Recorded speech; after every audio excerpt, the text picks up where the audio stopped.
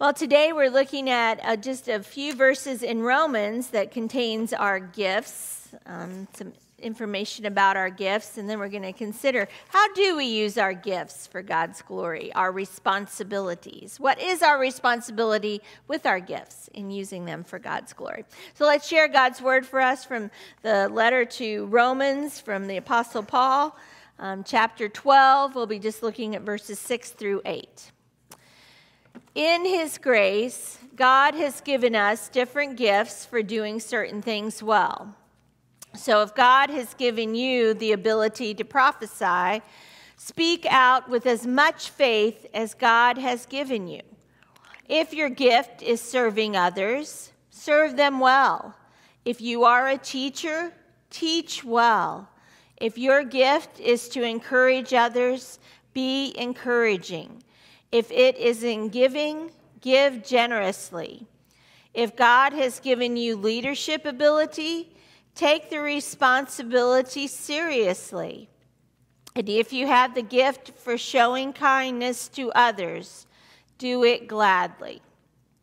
This is the word of God for the people of God. Thanks be to our great God. Christian author and speaker Carol Kent tells of the moment when she realized that she had a choice to make with her responsibilities. She realized as her career was taking off, as her popularity was growing, as she was becoming in demand as a Christian speaker and author, that she also had to weigh her responsibilities with her home life. And she knew one morning that she needed to make some choices about that when her and her young son were having breakfast. And her young son Jason looked up to her from his cereal bowl with his gorgeous eyes and just looked at her with adoration. Who doesn't want to see that in the morning? And he said to her, You look beautiful today, mommy. And she was you know, that nice compliment, but she was completely puzzled by that. Why? Well, she had on her favorite old scruffy sweater, pill balls all over the place, her old slacks that had a tear in them. She hadn't even combed her hair, it was everywhere.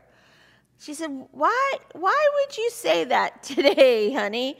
Why, why did you say that? And he said, Well, I know when you have your high heels on that you're going away.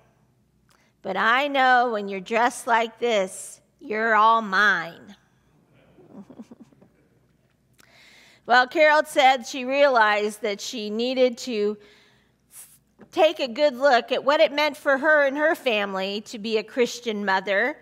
And she went to her prayer time after breakfast, which was her habit and as she did, she took her calendar and her popularity and she laid them before the Lord and asked him to guide her in using her responsibilities widely, wisely.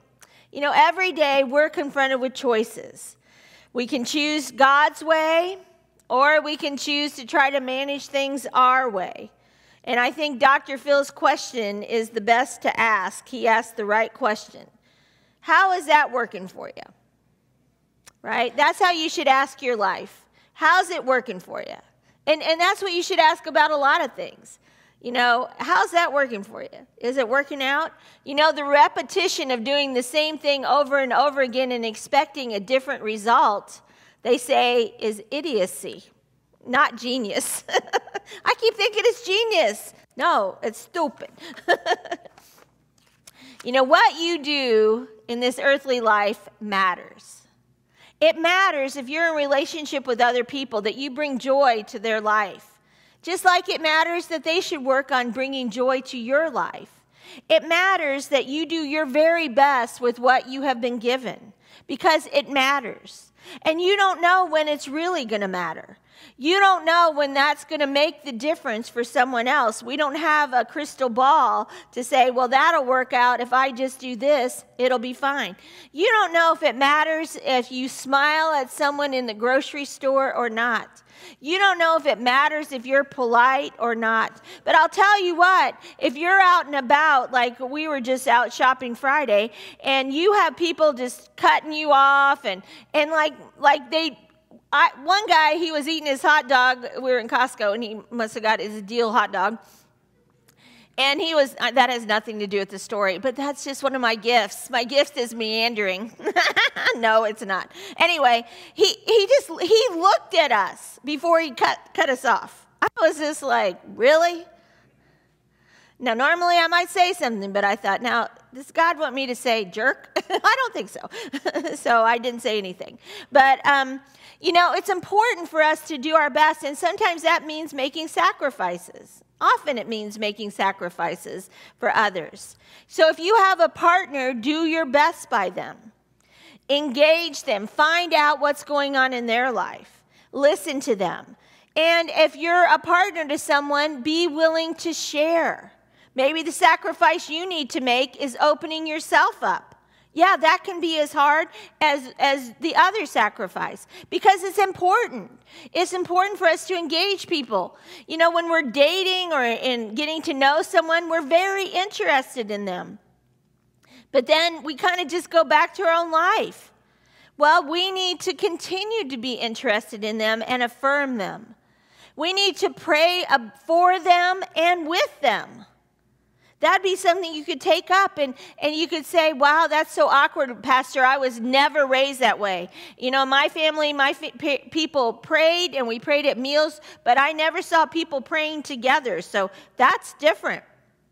I agree it is. But prayer is so important. And what, what could you do to start having a prayer life with your partner or with someone in your family that you want to engage? What, what simple thing could you do that we have a resource for every week? Start with the Lord's Prayer. Just do what we do here in church in unison. Say, hey, can I pray? Can we pray together? Can we say the Lord's Prayer together?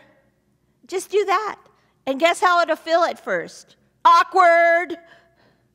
But if you keep doing that habit, you'll build a prayer life with them. And then you might start adding things to it. But that's just an intimate thing you can do to, to connect. And then do fun things with other people. Offer to do fun things. That's what this is about. It matters. It matters that you connect with the people that are in your life. You're responsible for that gift you've been given.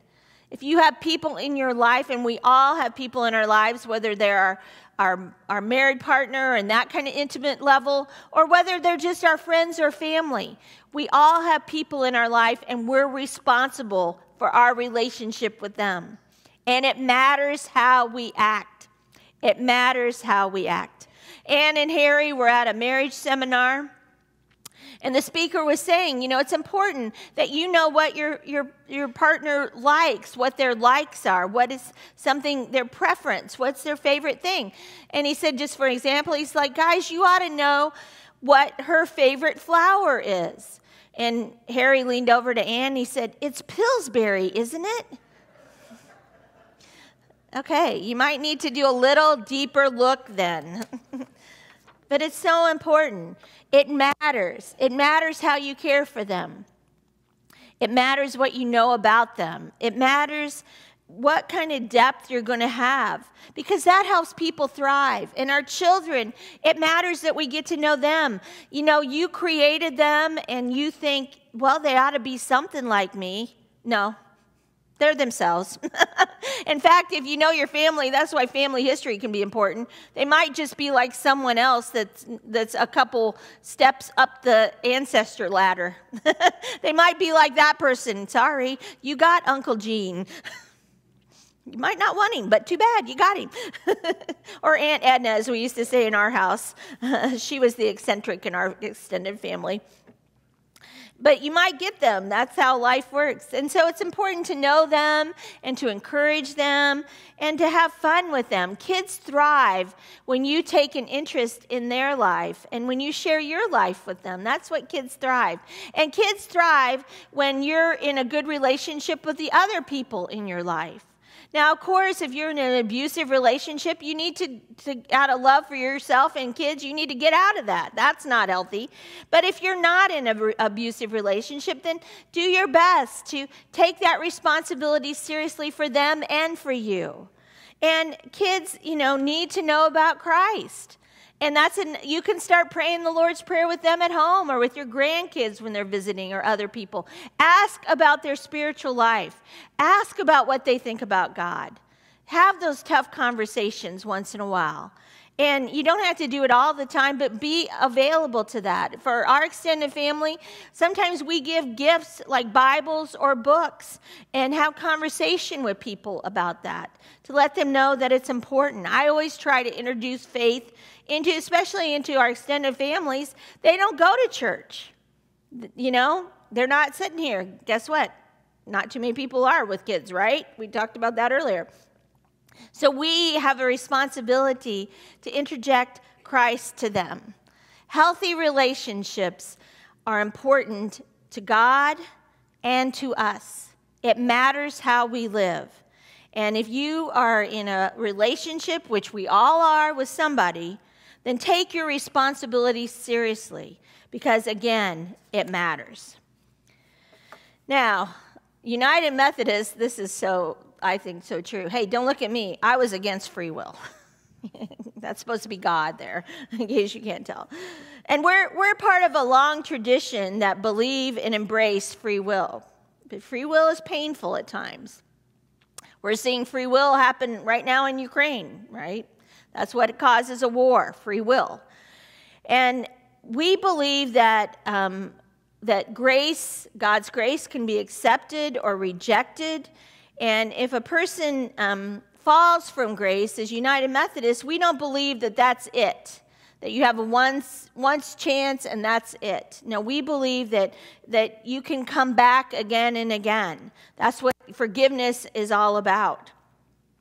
But we do have freedom and personal responsibility. That's what John Wesley, the founder of uh, the United Methodist Church, said. And so, also, we believe as United Methodists that the Holy Spirit is trying to nudge you and talk to you about your free will, about your choices, and encourage you with your responsibilities so that all the different gifts you're given might come out to be something tasty and not a disaster. And our tradition believes that we need to dedicate our whole lives to God as an offering, the whole life, all the different gifts that, that we have an opportunity to serve in many different ways. And as we serve and use our gifts, as we choose, as we use our free will, we give glory to God. So I invite you to ask God, and maybe you already do this. I know some of you do because you've told me you do. Ask God every day and any moment throughout the day. But you can ask God to guide you with His Holy Spirit to use your gifts for His glory, to le- use this day in the very best way you can. People are often afraid of the Holy Spirit because we think if I ask the Holy Spirit to come upon me, I'm going to be rolling down the aisle. I'm going to be speaking in languages that people don't know. I'm going to be acting crazy. That's what it means when the Holy Spirit comes upon you. No, no, the Holy Spirit is our advocate, our counselor, our helper.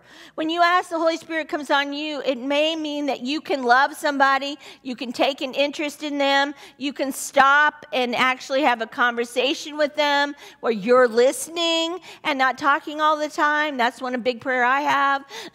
that God helps me to really engage with other people and really in, interact with them.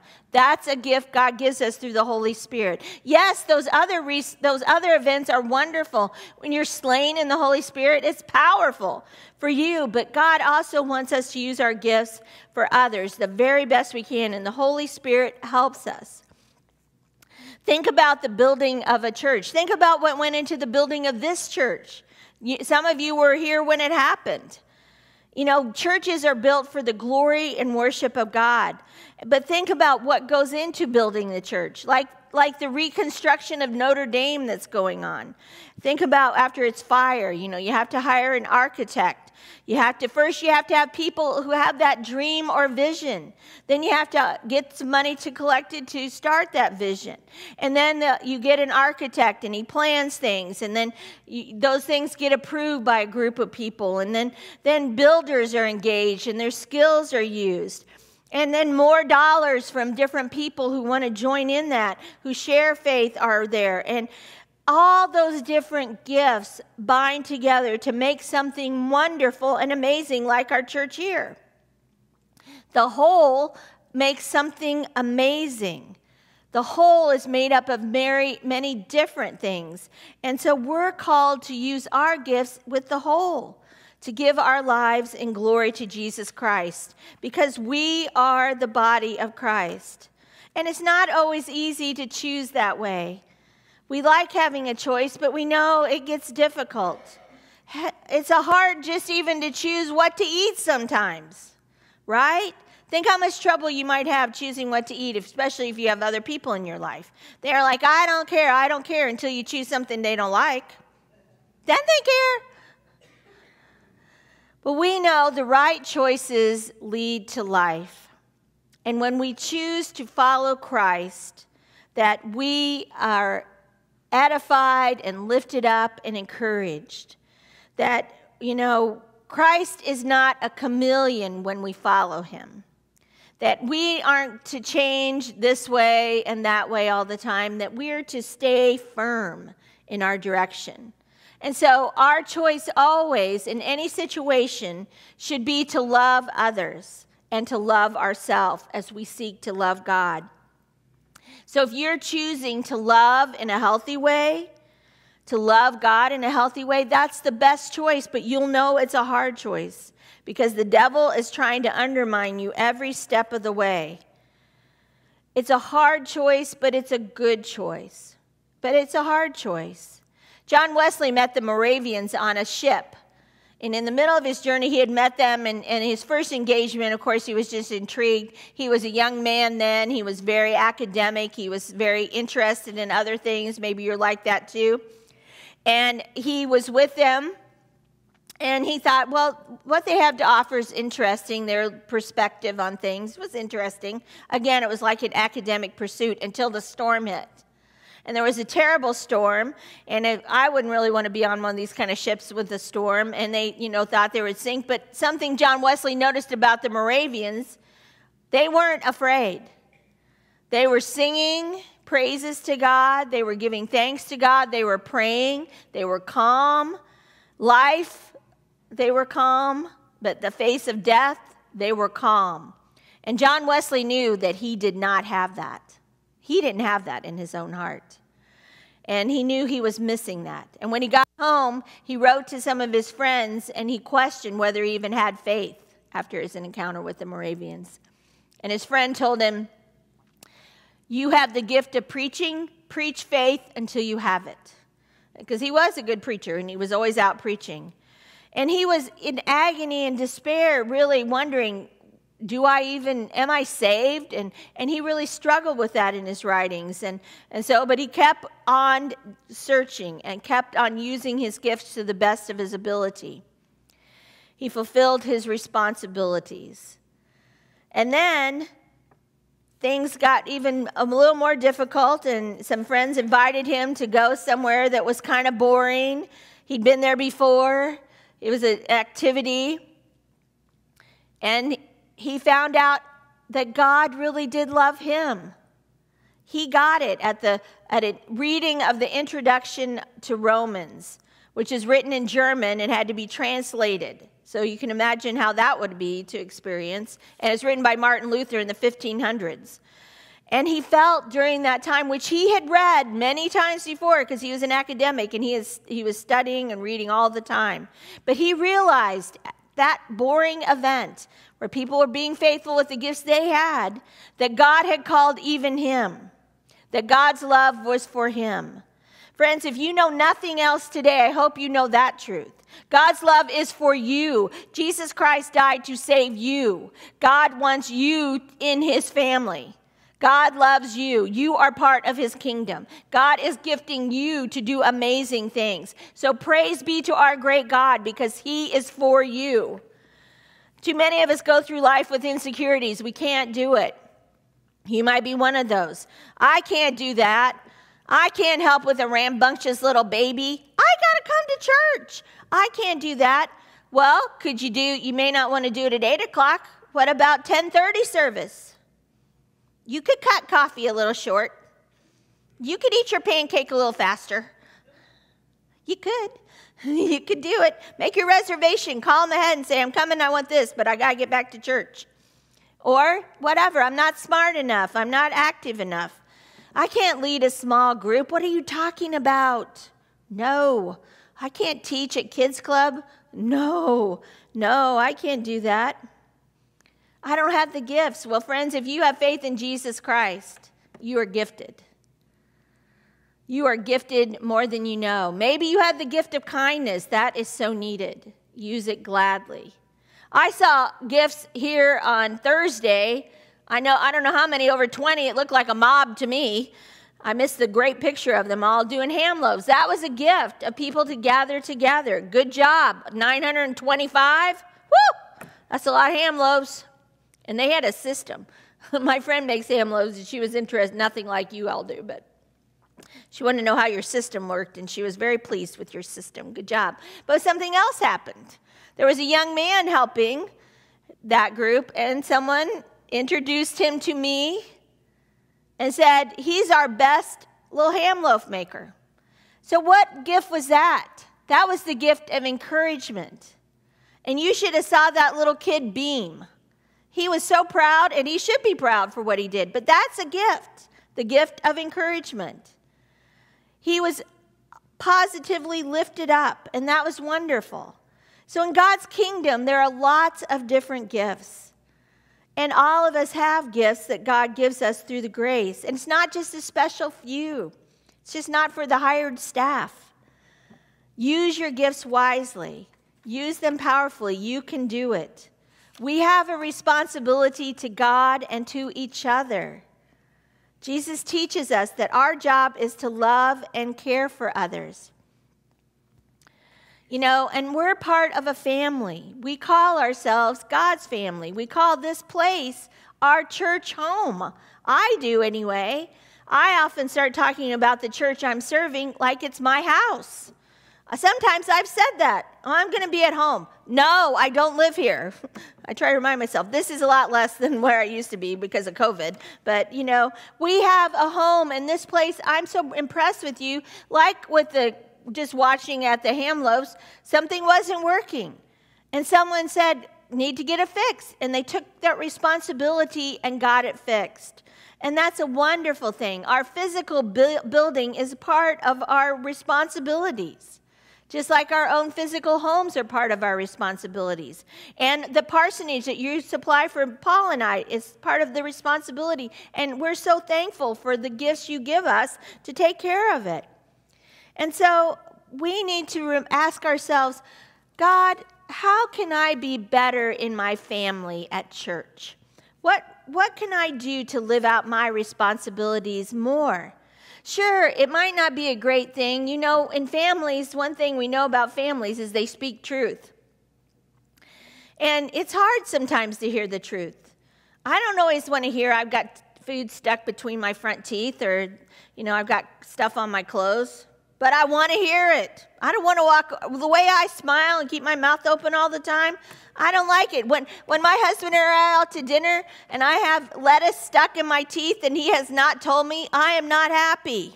Family has a responsibility to love each other and to speak the love, to speak the truth in love. So we are a family. We're part of the family of God. Think about the responsibilities you have and the gifts God has given you. Ask the Holy Spirit to show you what they might be and how you can use them more. As we faithfully live out our gifts and responsibilities, We help others come in. We go out and invite them to come part of our family. And in our process, then we each become more like Jesus. And that is a very good thing. Amen. Amen.